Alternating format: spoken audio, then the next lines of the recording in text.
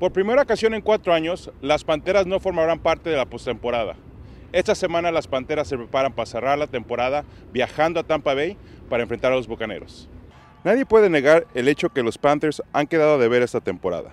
Con más jugadores en el protocolo de conmociones que victorias en la temporada, Carolina debe de encontrar la manera de regresar al nivel que llevó a este equipo al Super Bowl hace menos de un año. Con una semana por jugarse en la temporada regular, Carolina está totalmente comprometida a ganar su último partido ante Tampa Bay.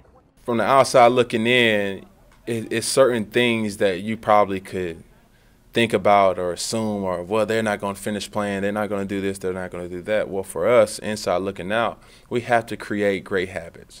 And um, you know winning football games late in the season that's the key to longevity uh, that's the key of preparing, uh, giving unbelievable effort, doing your job, and, like coaches always say, you know, just being a professional. A pesar de no haber sido capaz de mejores números durante la mayor parte de la temporada, Jonathan Stewart ha tenido uno de sus mejores años como profesional.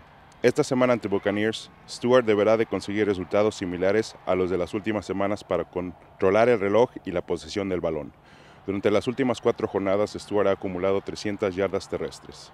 No obstante la mala temporada de Panthers, la línea defensiva ha mostrado un gran nivel, especialmente después de la semana de descanso. Panthers ocupa la primera posición de la liga con 44 capturas de coreback.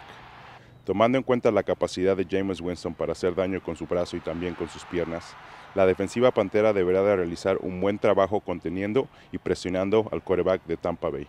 Aunque los esquineros James Bradbury y Darrell Worley son novatos, después de 16 semanas en la NFL, ambos están jugando como veteranos. La meta esta semana para estos dos jugadores, al igual que para el resto de esta unidad, será evitar que James Winston y Mike Evans tengan un día productivo.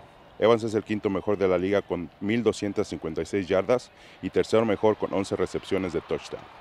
I mean, when you're pressing him, you just got to try to get your hands on him and try to slow him down, and uh, just got to be careful because I know he likes to. Uh, he plays to his size, so I mean, he uses his body a lot when he attacks the ball and stuff like that. So you just got to be careful, but you also try to be physical with him as well. Bueno amigos, les recordamos este próximo domingo Panteras estará cerrando la temporada 2016-2017 viajando a Tampa Bay para enfrentarse a los Buccaneers. Se despide su amigo Luis Moreno para Panthers.com y para la NFL en español.